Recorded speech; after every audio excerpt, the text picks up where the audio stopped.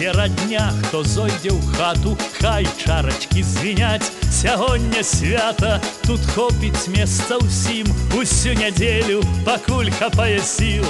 Гуляй, вяселле, пакуль хапае сіл, гуляй, гуляй, вяселле. Спявайце госці, музыкі